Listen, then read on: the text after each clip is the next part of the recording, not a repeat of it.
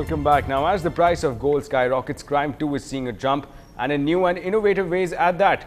Now, like the chain snatching incident on Saturday, which left the police stunned and shaken. Now, our crime reporter Salim tells you more.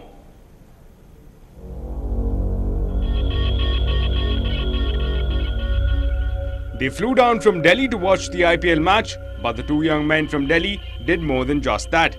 They tried to snatch the gold chain of a middle-aged woman and they are now in Chennai's Puzhal prison and their two-wheeler as well after alert locals nabbed them.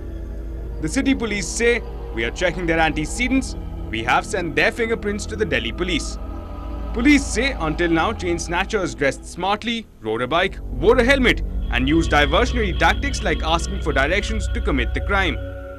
While assuring the citizens that all necessary measures are being taken to curb the menace of chain snatching, the police have also advised the women to raise loud alarm, shouting the moment they are confronted by the chain snatchers. Better yet, desist from displaying ornaments while walking on road. Experts say criminals too seem to be cashing in on the delayed reaction of most victims, which helps the culprits to zoom away with their loot. If you can't shout, at least be smart, note down the vehicle number. With that, the cops can easily snatch them. In Chennai with Salim, this is Ashmit Kumar for NDTV Hindu.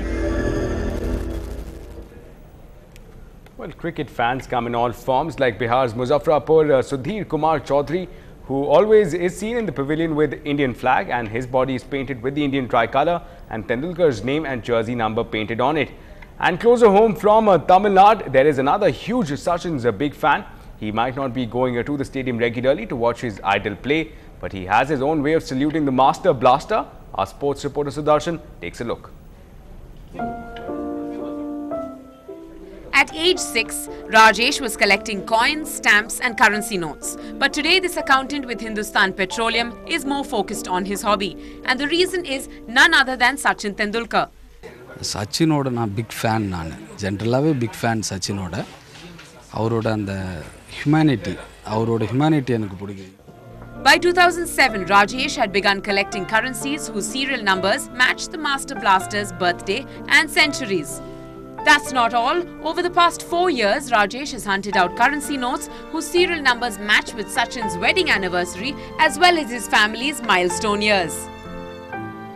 ஒரு மும்பையில் ஒரு exhibition attend பண்ணும்போது இது மாதிரி ஒரு idea கிடச்சிது அப்போ ஏன் இதை வந்து நான் கிரிக்கெட்டர்ஸ் செலிப்ரிட்டிஸ்க்கு கலெக்ட் பண்ணக்கூடாதுன்னு நினச்சேன் அப்போதிலிருந்து நான் கலெக்ட் பண்ணிட்டு இருக்கேன் And then it happened during the IPL of 2010.